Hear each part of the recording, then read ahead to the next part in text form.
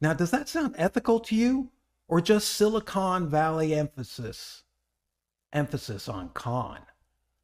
Like Eric, who said to the Stanford students, and listen to this advice the example that I gave of the TikTok competitor, and by the way, I was not arguing that you should illegally steal everybody's music.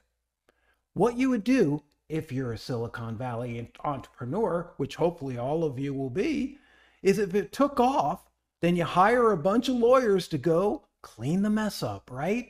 But if nobody uses your product, it doesn't matter that you stole all the content. And do not quote me on that, right? Everyone's shocked when the Schmidt hit the fan. But look at AI.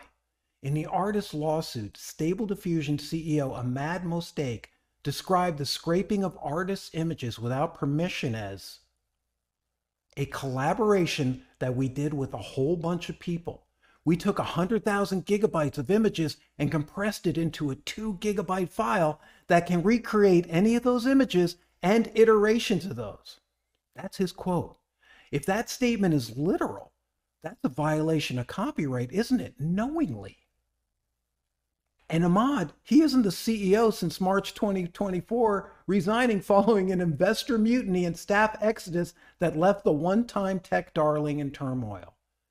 This is not really ethical behavior, is it?